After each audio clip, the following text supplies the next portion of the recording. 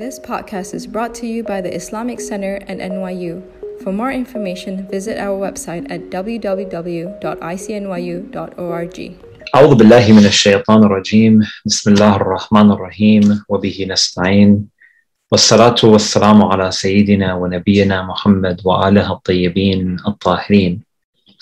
قال الله العظيم في محكم كتابه الكريم والقول كالحق والأصدق القائلين.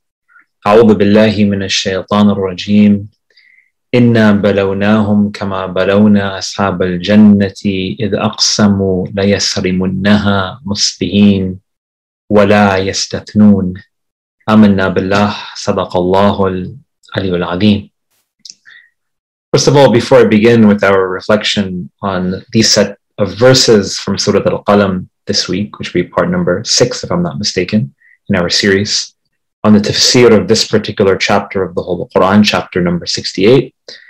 I thought it'd be important for me, first of all, to wish you all Eid Mubarak and reflect a little bit in regards to the story of Nabiullah Ibrahim alayhi salam before we get into another really important anecdote uh, that is mentioned within the whole Quran for today's discussion. And in order to sort of combine the two pieces or the two dimensions of our conversation this evening, when we talk about the story of Ibrahim alayhi salam and that which makes the day of Eid al-Adha so unique, we reflect upon the submission of Ibrahim, on the sincerity of Ibrahim, and the fact that he was ready to entrust all of his affairs to Allah Azza wa Jal.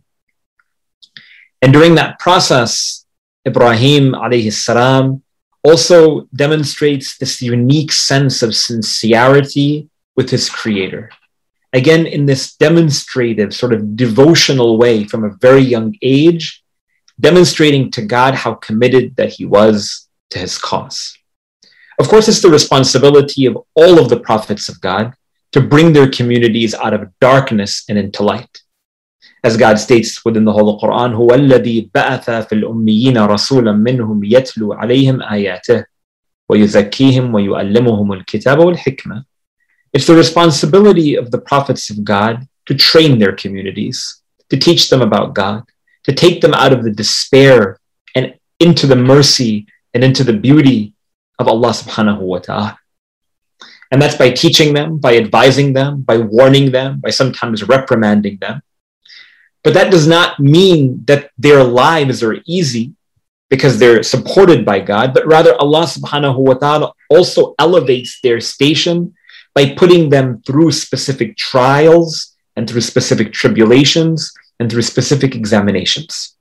And for Ibrahim salam, from a very young age, he had to go through just that. A couple of examples. Amongst those examples is in his youth with his uncle or with his father, Azar, as mentioned within the Holy Quran. In this particular episode, we know that it was really difficult for Ibrahim salam to virtually speak truth to authority, speak truth to power. And thus, gradually, from a very young age, he developed the skills toward connecting with his community, speaking with them in ways that he was hoping that would open up their intellects a little bit. He would go to their festivals, go toward their celebrations, and look at their idols and say, Do you not talk? He would ask them, Do you not eat? In order to get others to think about and realize that their deity is someone without any power until, like we know, he strikes down those idols. And his community, they despise him and wish to take his life as they cast him into a massive fire. But of course, he's saved by the grace of Allah subhanahu wa ta'ala and his own conviction and sincerity in his mission. As he gets older and as he ages, Ibrahim salam was unable to have a son, but still, with his dua and with his supplication, remained committed in a state and in a state of servitude to his creator, thus Allah subhanahu wa ta'ala, وَبَشَرْنَاهُمْ بِغُلَامٍ halim. He gives him the gift of this forbearance son of his, known as Ismail. And Ismail, of course, grows up in his adolescence toward being someone who was by the side of his father consistently. To that extent, when that Ibrahim salam goes to his son and tells him that I saw in a dream that I have to slaughter you inni adbahuk. That he responds, Satajiduni insha'Allah min as-sabirin. That you will find me amongst the patient ones if you decide to do that which Allah subhanahu wa ta'ala instructed you to do. In fact, if al tu'mar. Do exactly that which Allah subhanahu wa ta'ala commanded you to do. He was also in a state of contentment because of the remembrance of Allah subhanahu wa ta'ala that emanates from his heart. But again, look at the episode and the trial for Ibrahim alayhi salam. To be in that state where you have to slaughter your own son is not something easy. It's not something simple, even, even for a prophet of God. It's stressful, it's difficult, it's challenging because again, Allah subhanahu wa ta'ala, He puts even His most beloved creations through trials and tribulations in a way to elevate their status and in a way to demonstrate to us that this life is darul bala wa darul imtihan. This life is a world of tribulations and a world of examinations. We go through ups and downs during the course of our lives. And through these episodes and through these anecdotes, the anecdote of Ibrahim and others, we're able again to open up these intellects of ours and begin to realize and recognize that we also are not saved from being tried. And that's just amongst the nature and the sunnah of Allah subhanahu wa ta'ala for his creation. And I say all of this as an introduction to also transition it into our discussion for this week, inshallah, which may continue over to next week due to the length of this anecdote, as mentioned within the whole Quran, beginning in chapter 7, uh, 68, verse number 17, Surah Al-Qalam, in which Allah subhanahu wa ta'ala presents one of the first anecdotes as mentioned within the whole Quran. In fact, some commentators will state that because of how early Surah Al Qalam was revealed, and we mentioned that in the very first discussion, that this is one of the earliest chapters revealed toward the Messenger Muhammad sallallahu alaihi wasallam, that this may have been the very first story that God gives us within the whole Quran. And I will say this about stories, sort of as a you know prerequisite to us understanding the wisdoms that we extract from this lesson, and really as a sort of universal uh, sort of you know pointers or bullet points for us to understand and navigate the whole Quran more generally speaking. Allah subhanahu wa ta'ala presents stories within his holy book in order to offer us lessons. That's really the only objective. It's not for the purpose of entertainment, but rather it's to offer us a little bit of guidance, a little bit of inspiration, because at the end of the day, we're inclined toward knowing, toward learning, toward appreciating stories. From a very young age, we're taught fables, we're taught anecdotes. Our parents, our grandparents, those around us are consistently preaching to us via stories because it's that much easier for us to stay connected to things. And God says within the whole Quran, لَقَدْ كَانَ فِي قَسَسِهِمْ إِبْرَةٌ لِأُولِي الْأَلْبَابِ That surely within this book are stories for those who reflect. Why do we like something as, you know, emotional and as telling as the day of Ashura? We love to, you know, demonstrate our emotion when it comes toward the tragedy of Karbala because it's a really beautiful story. it's if, if, if it was just an episode that took place and we didn't have the details that we have toward explaining it and narrating it in the way that we do, it would not be as telling, it would not be as impactful as we see within our communities today. But because we're able to extract so many a lesson and so many layers from those lessons as well, we're able to again feel that much more inclined to them. So Allah subhanahu wa ta'ala gives us stories. And within these stories, like we know, He does not provide us all of the details but rather he only gives us snippets or glimpses, that which we can benefit from. If God does not mention it, and if his messenger sallallahu alaihi wasallam did not mention it in the commentary of these verses, then at the end of the day, it's not that important. When you take a look, for instance, at you know the story of Ibrahim and Ismail and the sacrifice, for instance, we're not so concerned about you know what Ibrahim wore when he went to perform the sacrifice of his son Ismail. Nor are we so concerned, for instance, with, I don't know, uh, what type of wood or how long it took for Prophet Nuh salam to build his ark, or about how tall the staff of Moses was. Again, because these things are not important in the big picture of things. But rather, Allah subhanahu wa ta'ala does not speak out of sort of coincidence, but He only speaks to offer us guidance. And when he says something, again, it's just not out of thin air, but there is a deep, entrusted wisdom within them, within those words, for us to extract. And again, stories, those especially and exclusively presented by Allah subhanahu wa ta'ala, have that much more opportunity to offer us that guidance that we're seeking. So that's where we're going to spend a lot of time reading and pondering upon some of these ayat, upon some of these verses, because again, the story has a lesson. There's a wisdom behind it. So we have to find that wisdom and we have to dig deep down sometimes in order to extract the lesson that Allah subhanahu wa ta'ala wants to demonstrate to us. So let's go to verse number 17 for those of you who are following, chapter 68 of the Holy Quran, Surah Al Qalam. Allah subhanahu wa ta'ala states, إن بلوناهم كما بلونا أصحاب الجنة إذ أقسموا ليصرمنها مصبحين. He states, Indeed, we have tested them just as we have tested the people of the garden. First of all, when God mentions we have tested them, who is he speaking to? He's talking to the community of the Prophet of God, sallallahu alaihi wasallam. We have tested them, the people of Mecca, because again, like we mentioned, that this particular chapter is revealed within the holy city of Mecca, and those early uh, years in the lifetime of the Messenger, wasallam, were filled with difficulties, were filled with trials.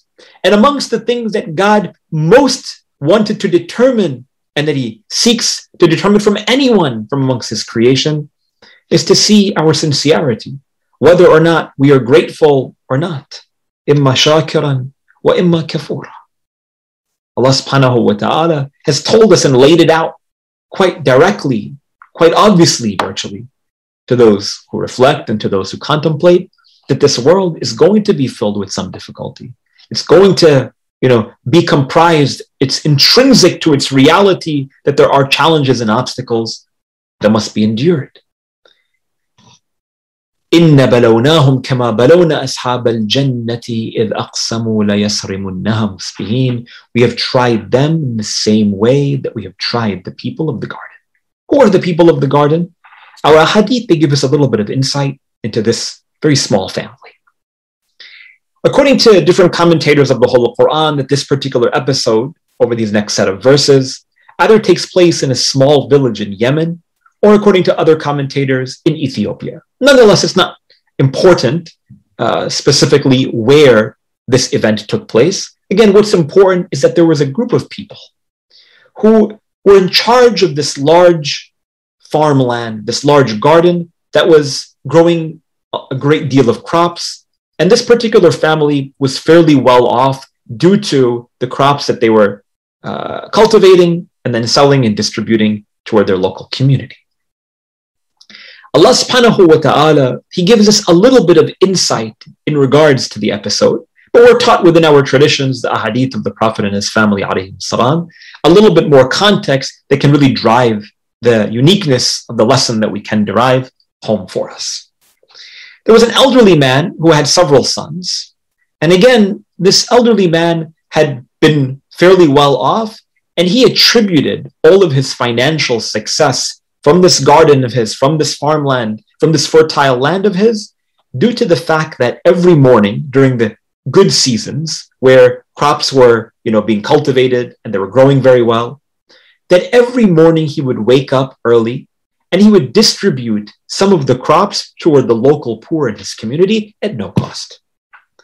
As an act of charity, every morning he would wake up very early, and those locally within the community who are not so financially well off, who are looking for food, who are looking for drink, who are looking for some sense of livelihood, they would know how generous that this elderly man was. And so they would come out there early prior to the time of dawn, ready for them to get some fruits, take some vegetables back home to their family. What happens is that a couple of years later, that the elderly man, the father, he passes away. And that his children, now they inherit this massive farmland and they inherit all of these crops. But from their perspective, they also inherit the burden of distributing these fruits and vegetables to the impoverished within their community and they don't want to have it. So Allah subhanahu wa ta'ala tells us what happens to them within the whole Quran. إن بلوناهم كما بلونا أصحاب الجنة إذا أقسموا لا يصرمنها مسفهين. Indeed, we have tested them, the people of Mecca, in the same way that we tested the people of the garden, this group of children. When they vowed they would gather its fruit at dawn, what happens? Their father passes away, it's spring season, crops are starting to grow really well, and they begin to expect all of those poor folks from within their community to come and settle outside at dawn so that they would have to give out of their fruits and vegetables. But in order to increase their profits, they were thinking about money, of course, before anything else. They're thinking about their love of this world before any value or any ethic or any morality, like we tend to do. And I ask Allah subhanahu wa ta'ala to forgive me before anyone else. They gathered amongst themselves and they said, let's wake up even earlier than we expect these poor folks from within our community to come and let's gather together all of the crops and hide them. So they're going to walk by the farm and they're going to see that there's no fruits and vegetables growing this year. Maybe they'll think that the ground, we did not fertilize it appropriately or whatever, right? So that morning they woke up extra early and they began to commit toward gathering all of these fruits and vegetables and placing them on the side prior to the time of dawn. Allah subhanahu wa ta'ala states, وَلَا يَسْتَثْنُونَ And they did not make any exception. It could be understood in many different ways. One could be that they did not remember Allah subhanahu wa ta'ala. Or on the flip side, means that they made sure to pick up every single fruit and vegetable, right? فطاف عليها طائف من ربك وهم نائمون. Verse number 19. Allah subhanahu wa ta'ala he says, Then a visitation from your Lord took place on that garden, on that fertile farm, while they were asleep. A couple of things that we can extract from this lesson or from this particular verse. Number one, Allah subhanahu wa ta'ala says that we visited it. Meaning what? That rizq and sustenance, it comes from Rabbil Alameen. It comes from the Lord of the worlds. Alhamdulillah alladhi razaqani uh, oh Allah, we say in a famous dua and famous supplication, Oh Allah, all thanks and all praise is due to you, for you are the one who sustains and not the people. If my sustenance, my wealth, my health, my life was in the hands of my manager, my boss, my work, at the end of the day, I'm going to die tomorrow, and the only thing they're going to be concerned about is filling my position. Week, two weeks, they may grieve. They may recollect the tragedy, but everyone moves on. Allah subhanahu wa ta'ala, He loves His creation and He cares about His creation. Thus, He sustains us in the way that He does, and we entrust our affairs to Him because at the end of the day, it's all in His hands, Azza wa فطاف عليها طائف من ربك وهم نائمون Allah subhanahu wa ta'ala says, and we performed a visitation to that fertile land while they were sleeping. We mentioned earlier that when God mentions any particular detail within the whole Quran, again, it's not meant to just be something in passing, but it's important for us to think about it. Why does God say while they were sleeping? Normally, when someone sleeps, they, you know, assume that everything is going to be fine the next morning. When we sleep, we sleep comfortably for the majority of people. We sleep comfortably, especially when we've guilted ourselves toward believing that we're doing everything right. Of course, when we commit a crime, when we commit an act of transgression, the believer is difficult for them to sleep. When they're going through some hardship, they turn back to Allah subhanahu wa ta'ala in dua and in supplication and so on. But for this group of individuals, they slept comfortably because they had a plan, again, to seek toward cheating the system or in other words, cheating Allah subhanahu wa ta'ala in this case.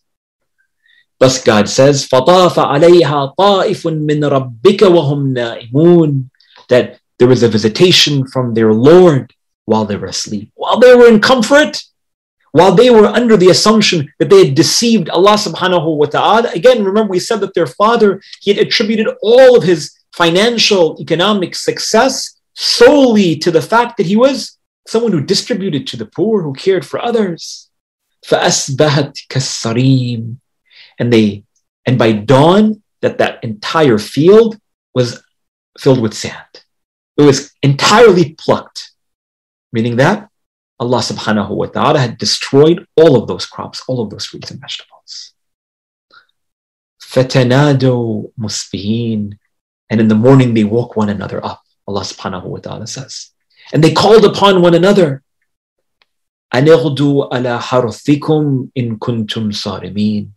Let's wake up early. Let's get up. Let's make sure that we get all those crops. Again, they began to make their plans, but Allah subhanahu wa ta'ala had already planned. And before we get into the next set of verses, let me conclude with this point. Inshallah, we'll continue this next week. Allah subhanahu wa ta'ala was determining and seeking from amongst them who was going to have a good intention. It could have been such that that elderly man, their father, who eventually passed down this garden to his family members, to his children, had some bad years when he was unable to distribute the amount or the worth. But out of the grace and out of the kindness of Allah subhanahu wa ta'ala, due to the intention and due to the sincerity of that elderly man who had passed away some years earlier, Allah subhanahu wa ta'ala even sustained his children, at least through this period. And it's important for us to consistently be in a state of self account, in particular to check our intentions where are our intentions lie? Or where do they lie in the eyes of Allah subhanahu wa ta'ala? Are we striving to be where we need to be? Are we already there? What are the steps that we need to take to purify again the state? Allah subhanahu wa ta'ala plans, and we might plan. But it's important that when we work for God to know that Allah subhanahu wa ta'ala will support us in our efforts and in our initiatives. Or when we seek toward deceiving Allah subhanahu wa ta'ala, when we think about our nafs, we think about ourselves prior to our thinking about those who are less fortunate, prior to our thinking about basic humanity and morality, that Allah subhanahu wa ta'ala, He will strip away this dunya and the akhirah as well. This is a custom that we learn from amongst the teachings of the whole Quran, from amongst the teachings of the Prophet and his family, if we have learned anything over this last year and a half or so, it's that we have no idea what's going to happen tomorrow. And thus, it's so important for us to remain centered consistently, remembering that this life is transient and it's passing. But if where our intentions are firm and where, where we're sincere and where we're consistently in a state of self account and placing God at the center and as our access in the course of our lives, inshallah ta'ala, will find success in this world and the next. We'll continue our commentary and this particular anecdote of the people of the garden next week, next Thursday evening, inshallah ta'ala. Alhamdulillah Rabbil Alameen. وصلى اللهم على سيدنا ونبينا محمد وعلى الطيبين الطاهرين. Thank you all for joining. Inshallah, we'll see you all next week. Alhamdulillah Rabbil Alameen. Assalamu alaikum wa rahmatullahi wa barakatuh. If you would like to listen to more, please donate to www.icnyu.org slash donate. For more of our virtual programs, go to www.icnyu.org slash classes. If you have any questions, email us at info at icnyu.org.